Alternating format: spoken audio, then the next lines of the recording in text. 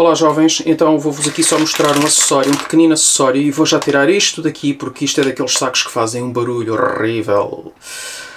Um, mas isto é um pequenino acessório que hum, serve para fazer, para, para um, fazer carga a partir do portanto, USB.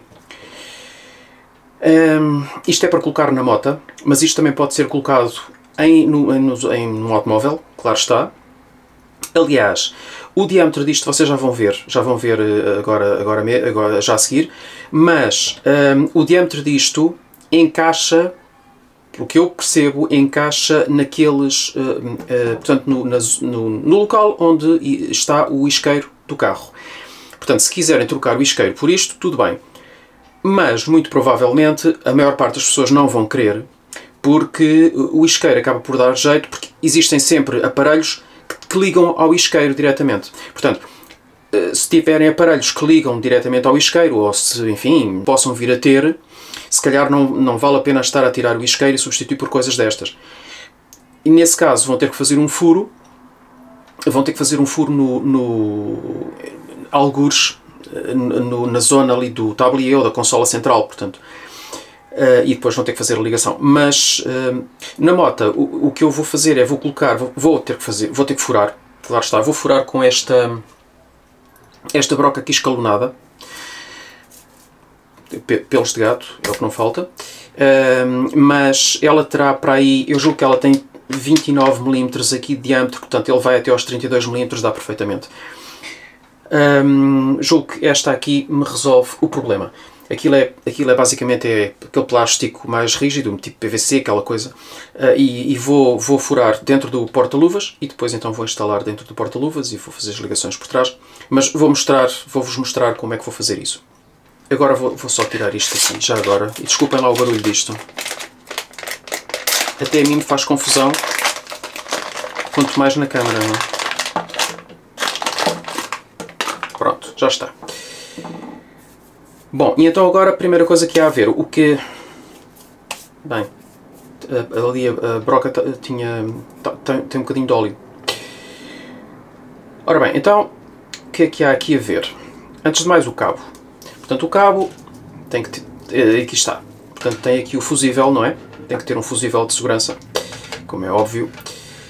Um, e portanto temos então o positivo, temos o negativo, de resto, uh, isto aqui tem. Isto aqui deve ter para também 6, deve ter 6, 6 milímetros mais ou menos, portanto isto está, está pensado para obviamente ser colocado na, nos bornes da bateria, portanto é 6, tem 6 mesmo, 6, 6 qualquer coisa, 6, 11, está-me aqui, ok. Uh, portanto, para, para colocar nos bornes, do, nos bornes da bateria. Uh, se bem que este aqui pode ser colocado... Uh, este aqui terá de ser colocado no, no positivo não é, da bateria. E este aqui, vamos ver, porque... Aliás, eh, eu, eu provavelmente não vou colocar isto no positivo da bateria, embora possa, mas uh, provavelmente não vou fazer porque não quero que quero que isto uh, tenha eletricidade apenas quando a ignição estiver a chave de ignição rodar, portanto, eh, quando ligar a ignição. Quando a ignição estiver desligada, não quero que tenha qualquer energia. Portanto, vou ver como é que vou fazer a ligação, mas provavelmente não vou ligar diretamente à bateria. Um, ok, isto tem aqui este anelzinho de borracha, depois tem aqui este, esta uh, porca, não é, de, de aperto. O, o mais e o menos estão perfeitamente indicados, mais, menos, sendo que o mais tem esta cor, sim, mais amarelada, não sei se dá para, para perceber. Uh, e o outro tem, sim, uma cor um bocadinho mais prateada. Eu julgo que dá para perceber uh, as diferenças entre as duas. Uh, isto tem aqui uma janelinha, porque também tem o voltímetro, dá sempre jeito. Não, não, não, é, não é estritamente necessário para uma coisa destas, mas eles têm estes modelos, têm estas coisas e dá jeito. Um, e cá dentro tem então duas, uh, dois USB, uh, portanto isto é EQC 3.0 e tem o interruptor. Portanto, este interruptorzinho acaba por ligar e desligar um, o, o, a energia.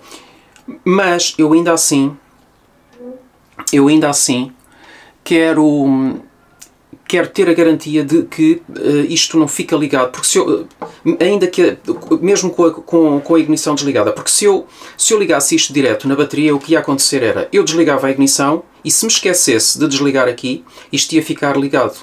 Eu não quero que isso suceda, ok? Uh, porque acaba por estar, no fundo, enfim, a descarregar a bateria, a contribuir para descarregar a bateria. Um, e portanto, o que eu quero é, quando desliga a ignição, independentemente do, de, deste interruptor estar ou não estar uh, ligado, este uh, aparelhozinho perde uh, o abastecimento de energia e, portanto, não há hipótese de ficar ligado. Portanto, vamos ver então, vou ver como é que vou fazer as ligações e, e depois então vos, vos mostrarei, enfim, o processo. Pronto, para já é só isto. Ehm, enfim, espero então que tenha sido útil.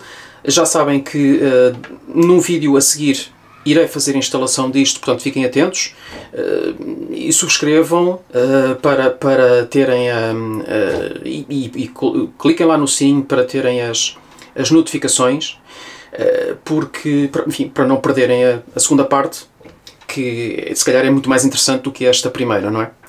Acho que sim. Muito bem, então para já estamos tratados. Obrigado por terem assistido e vemos no próximo vídeo.